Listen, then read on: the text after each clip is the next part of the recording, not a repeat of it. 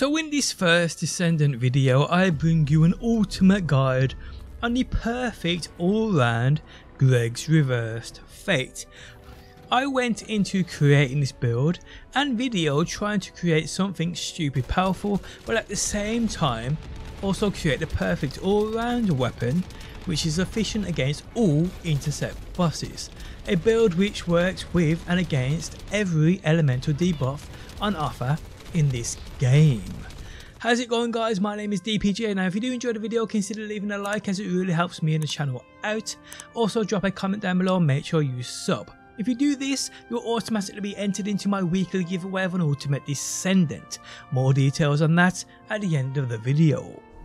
So as I said, this build is different. I wanted a single weapon build which I could switch between and lay down maximum damage to those bosses without having to faff about rearranging modules and that's what I bring you guys today.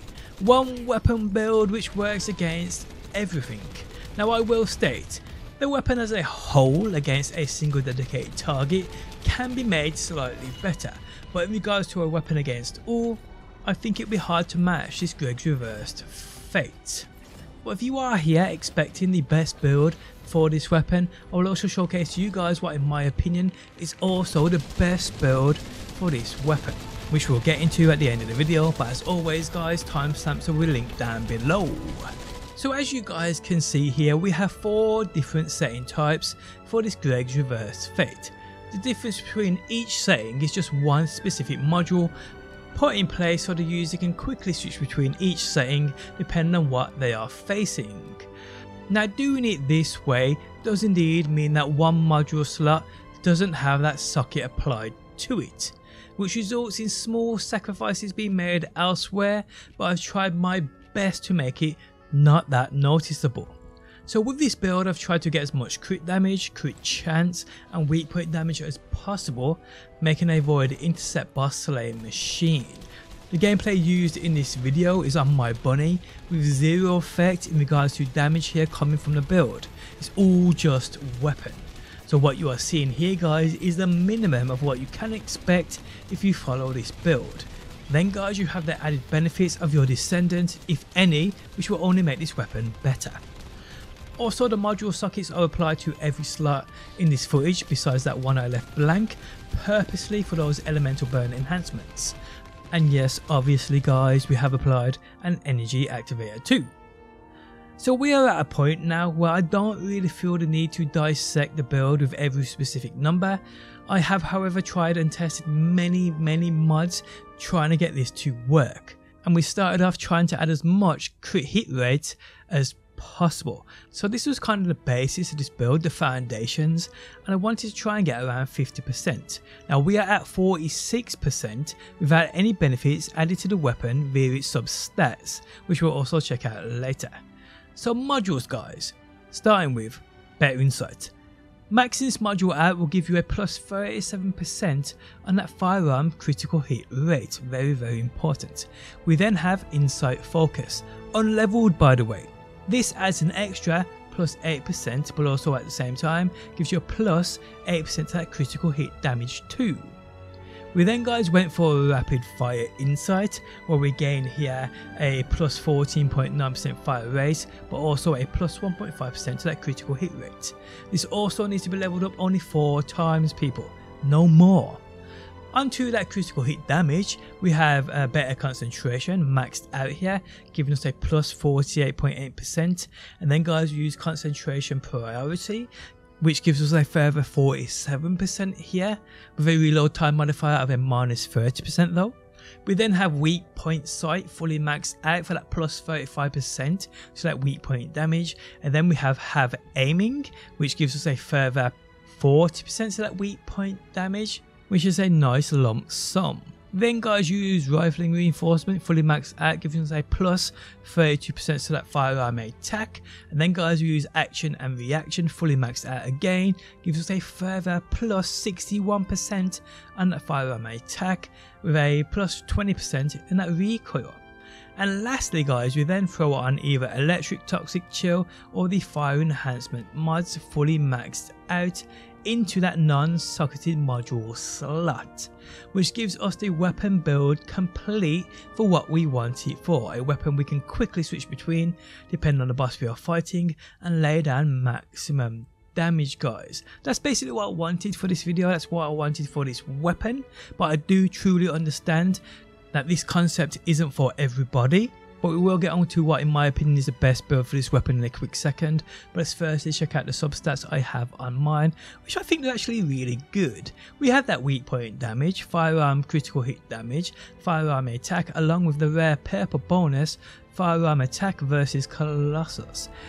If I had the materials to waste, I'd probably roll this one, trying to get the gold version of it, or even a gold version of the firearm critical hit chance or critical hit rate. That would be absolutely perfect.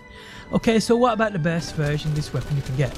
One that isn't dedicated to a single elemental burn. The most powerful and best version of this weapon in my opinion would consist of the following build. So substats, like I said, same as what we have here. Just trying to get the gold version of the rare and you'll be gravy here.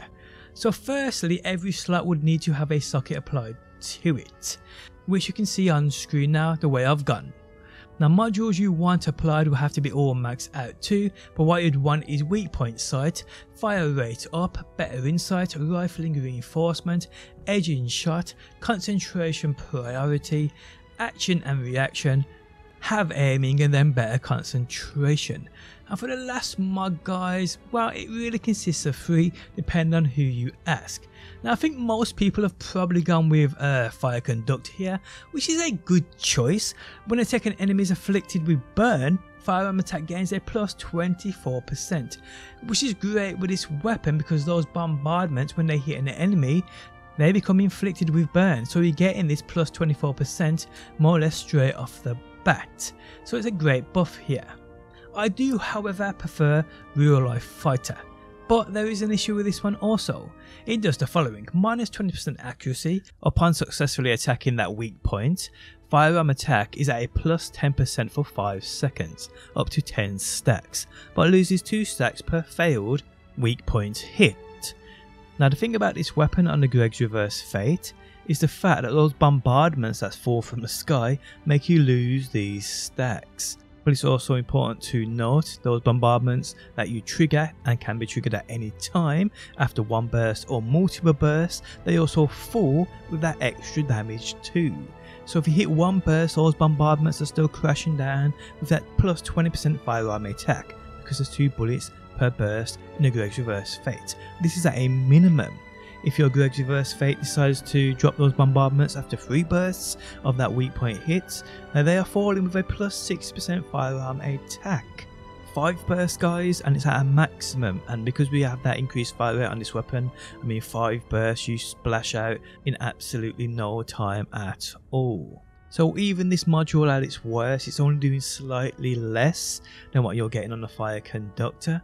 But when you are spamming out those shots, people, and hitting that weak point on that boss, it just seems to me to be doing more total damage. That's why I'd choose this over the fire conductor, but that choice is obviously yours. But what about mental focus? Well, if you play on Gley, it's really a no brainer and this is the mod you should be using. But for me, on my bunny, the Greg's Reverse Fate mag is too small to see any benefits from this. So yes, unless you're using Gley, I don't really think the mental focus is for the Greg's Reverse Fate. But hey, that's just my opinion.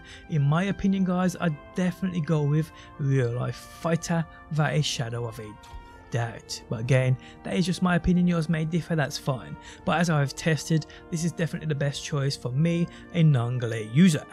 And there we have it guys, the Greg's Reverse Fate. Now before we do end the video to say thank you for the amazing support I've had on this game, I'm giving away Ultimate Descendants or the equivalent in that caliber. As you know, unlike some, my giveaways are actually legit.